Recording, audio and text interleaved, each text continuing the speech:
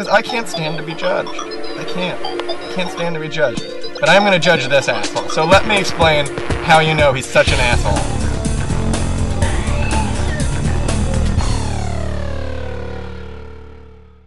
Hi guys! So do another product test for today. Hope you like it. Uh, like most of my products, it is alcohol based. Shocking.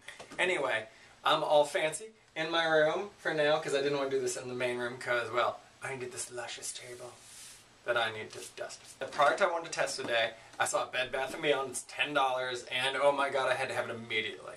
Ready? Are you ready? I hope you're ready. Because what I'm do testing out today is the XL wine glass. Holds a full bottle of wine, just like me.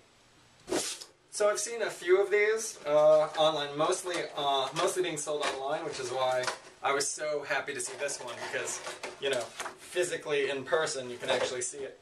This thing is carries sound nice, but this thing's almost as big as my head, like bigger than my hand in my head.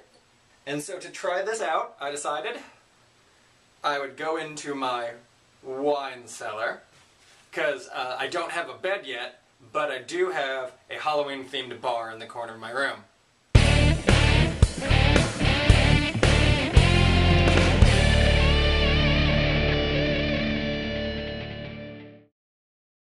So proud of that. Really I am. That's kind of the sad thing.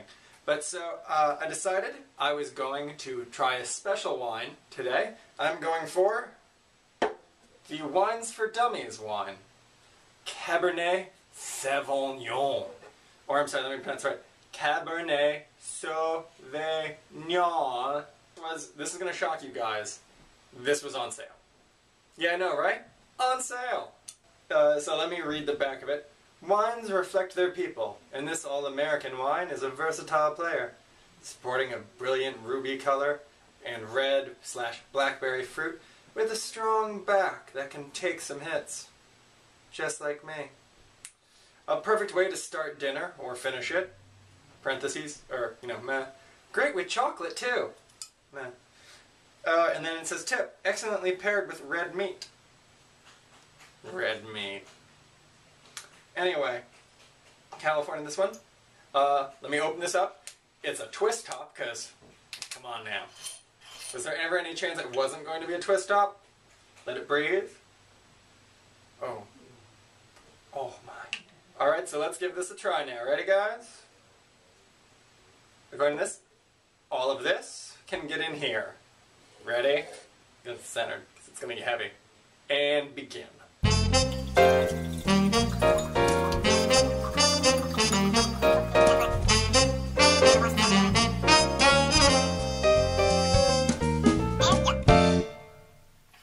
There we have it. A full bottle of wine in a single wine glass. Now, oh, okay, this is two-hander. Two-fister. Let's try this out.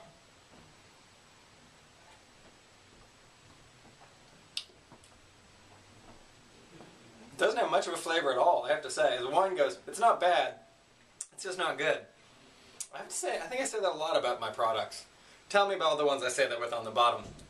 Anyway. I have a long night ahead of me. You guys enjoy. Tell me what else I should try. I have to say, this was not the cheapest wine.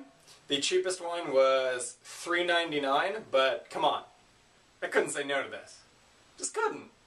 Okay, so for the XL wine glass, I definitely give this two thumbs up. I'm probably going to get a few of these for my relatives for Christmas and friends, because, you know, why not? And I, I love this. I love this. I love this, and I'm just going to ruin some surprises when I say they're going to get this for Christmas, but I don't care because this is so awesome.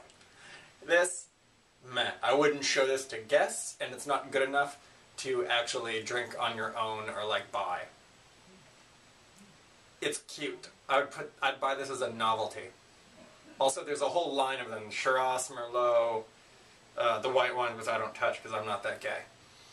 Anyway, guys, have fun. L'chaim. You guys have a nice day.